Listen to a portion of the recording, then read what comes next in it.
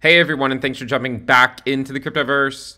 Today, we're going to talk about Bitcoin and we're going to be putting back on our on chain analysis hat and looking at the total transaction fees. If you guys like the content, make sure you subscribe to the channel, give the video a thumbs up, and check out Into the Cryptoverse Premium at intothecryptoverse.com com. Let's go ahead and jump in. So occasionally we like to put on our on-chain analysis hat and look into things that we can find with Bitcoin on-chain. One of those things are the total transaction fees for Bitcoin. What's interesting is they give a really great signal. You can look at this on a logarithmic scale, of course, but on a linear scale, you can quickly see how it does generally identify major tops. And this is one of those metrics that yet again shows that that 64K peak was a lot more important than the one that came later on at 69K. And that was where the actual mania phase occurred. In fact, when we hit 69K, the transaction fees were, were much closer to, say, bear market activity than what you would expect to see in a bull market. Now, one of the things we can also do with this is to drown out some of the noise and perhaps say add moving averages to the total transaction fees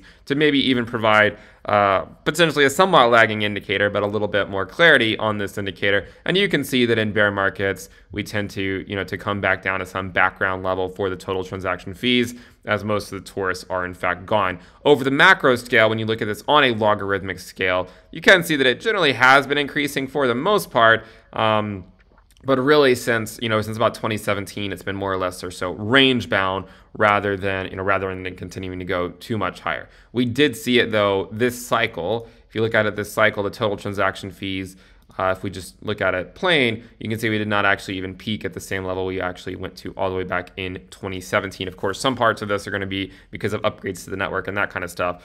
Um, but regardless, regardless, it, it does show a fairly a fairly concise signal when trying to to look at at mania phases in in bull markets. Um, and and for me, you know, this this was one of the reasons uh, why I was I, I wasn't I wasn't super optimistic about about this period over here. What's interesting when we went to 69k, we were already looking at bear market activity with the total transaction fees, and this is probably going to be something useful that we can look at in the future as we continue to navigate crypto. We can also look at it denominated in Bitcoin rather than U.S. dollars. With U.S. dollars, of course, it's going to be very you know highly correlated because we're we're plotting this. Um, uh, if you if you just sort of multiply it by the by the by the price, of course, it's gonna gonna take up a lot more.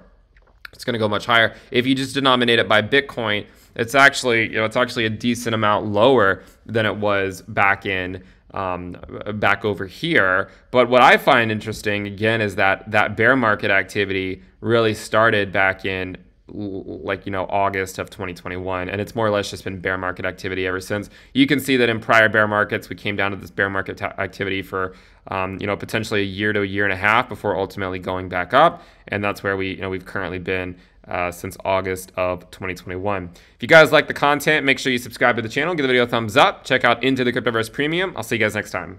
Bye.